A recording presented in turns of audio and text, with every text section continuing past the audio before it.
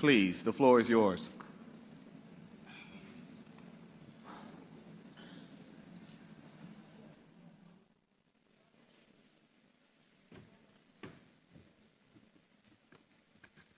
Hello.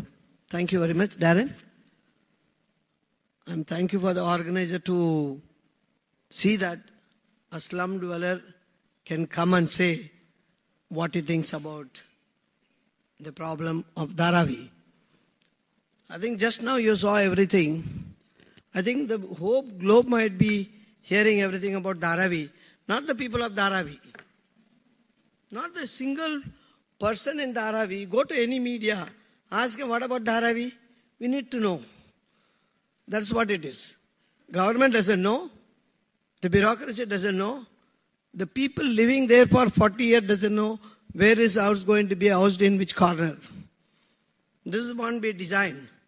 Today in the 20th century, we are talking up, the whole globe is talking about bottom up approach.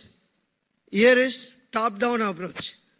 Five years somebody is working in Dharavi and doesn't know what is happening about Dharavi. You heard very recently, I think I don't know how, what way Mr. Chatria influenced the Dharavi project to introduce a survey. You see, first time in the world, a global tender has been invited,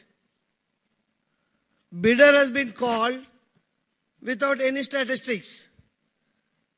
Now they're going to do the survey. Just announced about a month back. What a beautiful project it is. What a beautiful participation is it. What is the way of consultancy it has done? You see in the newspaper, you can hear everything in the newspaper. Statistics given. No mention about what happened to the rag pickers. What happened to the idli walas. Idli is sold in Colaba, in the Sahar airport. But is produced more than half a million idlis produced every day. What is going to happen to them? This is the poor man's food. What urban development you are talking about? I remember about 25 years back, the ex-prime minister Rajiv Gandhi has appointed a commission called Charles Correa Committee. The great developer who's proposing this development has he looked at it. In that time, in 25 years back, it, Mr. Charles Correa wrote, Dharavi is a saucer. It cannot be developed like that. You need to have a people's participation. In this project is people participation has been bulldozed. Thank God, Nasser Munjee has very clearly said, we have forgot bulldozer 20 years back, but bulldozer coming through MM consultant. Very well. Very well practically designed. What is happening? What are you talking about? Does the people know about today if you go to builder development, 750 rupees is the outgoing every month. Does MM consultancy know about it? How much you're going to charge? What are you going to charge? The whole Dharavi is vibrant today because it's vibrant economy. Three to five crore rupees a generation of everyday turnover. Where is the place for the people? What is going to happen to all its economic activities?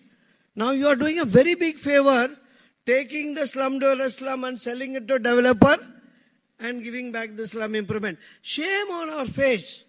Today you open the newspaper, it talks about economy is booming.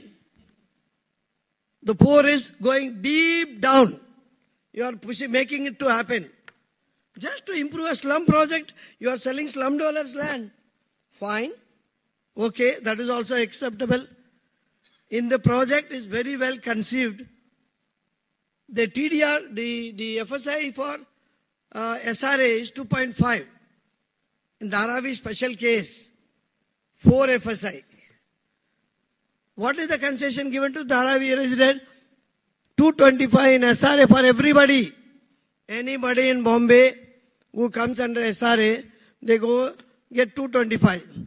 Your builder is getting 4 FSI. What is the concession specially designed in this project? Nothing.